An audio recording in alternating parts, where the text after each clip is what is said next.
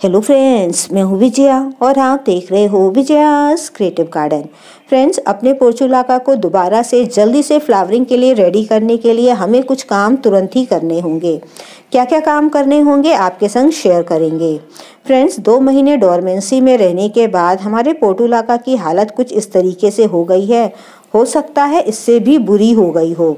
तो अगर इससे भी बुरी हो गई हो, तब भी आप जो है ये काम सभी कर सकते हैं अपने पोर्चुलाका या फिर पोर्चुलाका के प्लांट के साथ। तो फ्रेंड्स, अगर आप चाहो तो अपने पोर्चुलाका को गमला भी चेंज कर सकते हो, उसको कटिंग से भी लगा सकते हो और उसका नया सॉयल मिक्स भी बना सकते हैं। पोर्टुलाका में जो है काफ़ी समय से लगे लगे हो सकता है, कई दूसरे प्लांट्स भी जर्मिनेट हो गए हों। तो हमें जो है इनको निकाल देना ज़्यादा बेटर होगा। क्योंकि हम जो भी ट्रीटमेंट करेंगे, हम चाहेंगे कि हमारे केवल पोटुलाका के प्लांट में ही लगे। नहीं तो फ्रेंड्स एनर्जी जो है, मिट्टी की एनर्जी डिवाइड हो जाएगी और हमारे पोटुलाका देर से फ्लावरिंग करेंगे। तो हम जो है, कुछ ट्रीटमेंट ऐसा भी करते हैं जिससे कि मेरे प्लांट में जल्दी फूल भी आना शुरू हो जाते हैं।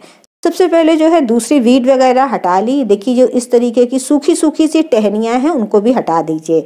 सूखी सी पिचकी सी दोस्तों, ये जो मोटी मोटी आपको स्टेम्प दिख रही है, ऐसी मत हटाना, क्योंकि ये स्टेम्प अभी दोबारा से ग्रो होगी। इसमें दोस्तों अगर आपके में दोबारा पत्तियाँ वगैरह अभी तक नहीं आई हैं तो परेशान मत होना, अब फिर निकल आएँगी। तो बस आप बिल्कुल सूखी सी पिचकी वाली ही हटाना और लगी रहने देना। तो पहला काम तो आपको ये करना है कि सूखी टहनियाँ हटानी है। हैं। दूसरा दोस्तों, आप गमला भी चेंज कर सकते हो।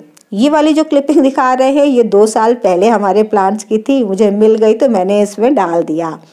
अब जो है, मैं गमला भी चेंज करने जा रही हूँ। तो पोटुलाका को आप जो है, तीन चार इंच से लेकर के कितने भी बड़े गमले में लगा लो, सब में ग्रो हो जाता है। बस दोस्तों, गमले का ड्रेनेज अच्छा रखना।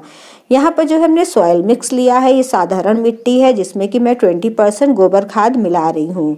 अगर आपकी मिट्टी थोड़ी सी कमज़ोर है, बहुत हेल्दी नहीं है तो आप थर्टी परसेंट या फिर फोर्टी परसेंट गोबर खाद मिला सकते हो। दोस्तों, पोटुला का जो है, इतने में ही ग्रो हो जाता है अच्छी तरीके से। तो इसको मिट्टी को अच्छी तरीके से मिक्स कर ले रहे हैं और इसके बाद इस गमले में भर ले रहे हैं। अच्छा मेरे जो पोटूलाका में जल्दी से फ्लावरिंग शुरू हो जाती है, वो क्यों हो जाती है, ये भी हम आपको दिखाते हैं। देखिए, कुछ पोटूला का तो जो है, हम जड़ सहित ही लगा लेते हैं। जैसे इसमें से निकाला मैंने, देखिए ना, और इसमें से क्या करते हैं, बस थोड़ी सी एक्स्ट्रा मिट्टी निकाल देते हैं, बहुत ज़्यादा जड़ों को डिस्टर्ब नहीं करते हैं। थोड़े से में ही करते, ज़्यादा नहीं करते हैं। तो थोड़ी की मैंने मिट्टी निकाल दी और इस नई मिट्टी में इसको लगा दिया। थोड़ा सा और ऊपर भर दिया है हमने इसको और इसको जब लगाएँगे ना थोड़ा सा अच्छी तरीके से प्रेस करेंगे ताकि जो पोचुलाका की थोड़ी बहुत जड़ें हैं, वो नई वाली मिट्टी से अच्छी तरीके से कांटेक्ट में आ जाएँ, मिल जाएँ। साथ में इधर प्लास्टिक के भी गमलों में लगा रहे हैं। देखिए, काफ़ी सारा ड्रेनेज होल है। तो पोटोलाका को जब भी लगाइएगा तो ड्रेनेज बहुत अच्छा रखिएगा, मिट्टी वेल ड्रेन्ड रखिएगा। अगर आपकी मिट्टी बहुत भुरभुरी नहीं है तो आप जो है उसमें सूखे पत्ते मिला लेना। दोस्तों, बहुत अच्छा रिज़ल्ट मिलेगा। तो मतलब ठीक रहता है। वेल ड्रेन मिट्टी होना बहुत ज़रूरी है। तो यहाँ पर मैंने पूरे, देखिए, इसकी जो काफ़ी सारी मिट्टी हटा दे रहे हैं, इसी में थोड़ी सी रूट प्रूनिंग भी हो जाती है थोड़ी सी ना? अब फिर इसको यहाँ पर दबा करके रख देते हैं ऐसे। हम कटिंग भी लगा लेते हैं। तो मेन तो एक प्लांट जो है, वो तो बिना मैंने ज़्यादा रूट्स डिस्टर्ब करे उसको लगा दिया है उसी में, दोबारा मैंने कटिंग लगा दी है।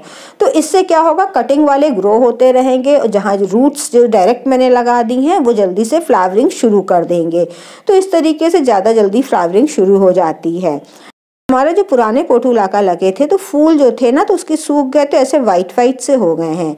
तो इनको जो है पिंच कर दीजिएगा। ये दोस्तों डेड एंड है। मतलब वहाँ से दोबारा से ग्रो नहीं करेगा प्लांट तो जहाँ पुराने सूखे फूल लगे थे, उस जगह को पिंच कर दीजिए। एक चीज़ ध्यान रखिएगा पोटूलाका में जहाँ आप देखिए, कोई भी डाली या स्टेम्प कहिए, दो इंच की होती है या एक इंच की होती है, उसको तुरंत पिंच कर दीजिए।